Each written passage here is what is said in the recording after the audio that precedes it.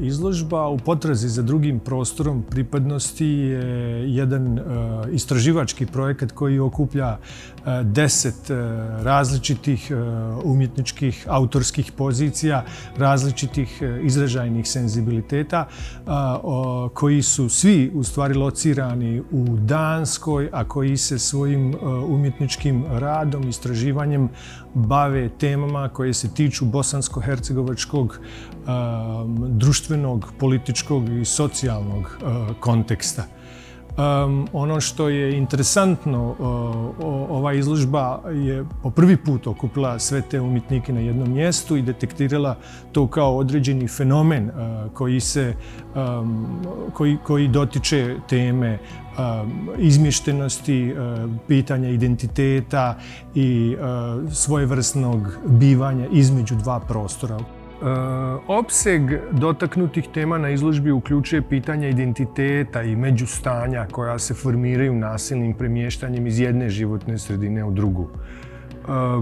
U nedostatku bolje terminologije, pojam identitet je ovdje korišten tek kao referenca na nešto mnogo kompleksnije, a širok spektar sociopolitičkih faktora kao oslonaca u formiranju i nastanku te pojave navodi na iskustva balansa između različitih i odvojnih konteksta, naime bosanskog i danskog.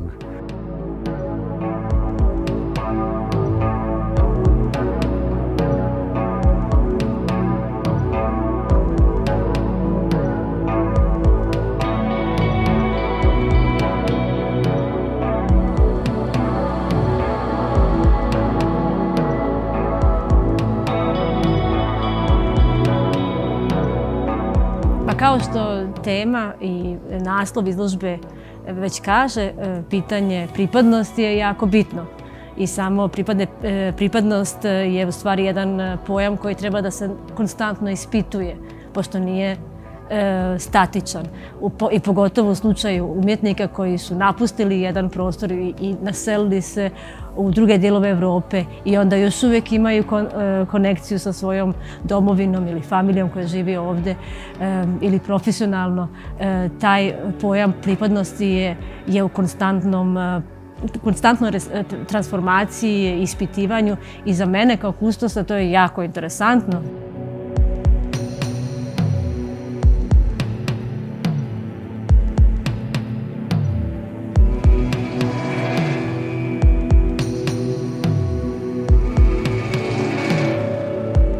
This specific work I did is a collaboration with my mom, Murveta Bacevac. Um, I, we kind of wanted to do, um, in my artistic practice, I work a lot with like memory.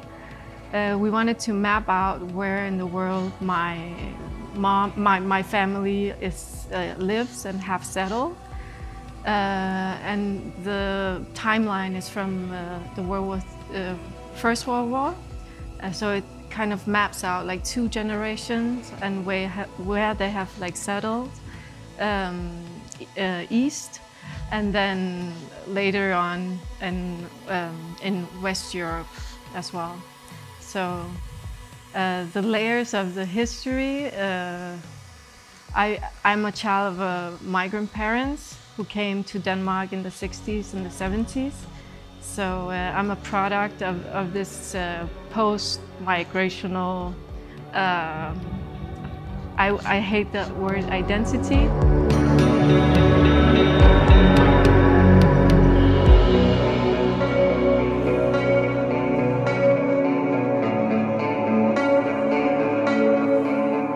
Many streets have changed their names, and I wonder what that means. Can you change your identity by changing your name? Or are you just trying to run away and start over again? Svima nama je neophodno da imamo to nešto blisko da bi mogli da se identificiramo koliko sa samim sobom, koliko sa svojom pripadnošću, toliko i da možemo da se distanciramo upravo od te neke otuđenosti, od tog nekog elementa koji nam jednostavno daje sigurnost u tom nekom našem prostoru.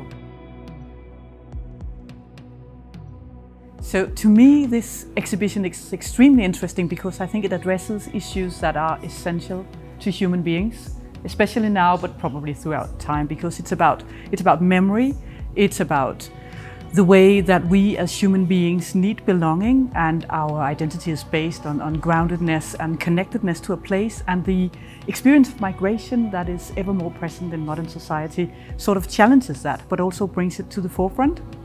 So I think what we see here is a lot of examples of, of how memory and migration meets, how it needs to be expressed, how it challenges the human experience and also there are a lot of examples here about some of the things that, that migration can do. Can be, it can be an experience of, of changed place, but it can also in some cases be a, quite violent experience. And I think that is being addressed here as well. And I find this combination super fruitful. I think it's, it's fascinating the way that it both sort of addresses universal human issues, but also things that have to do with a particular place, with this city of Bihać, with, with Bosnia and Herzegovina, uh, as a, as a, as a contemporary society.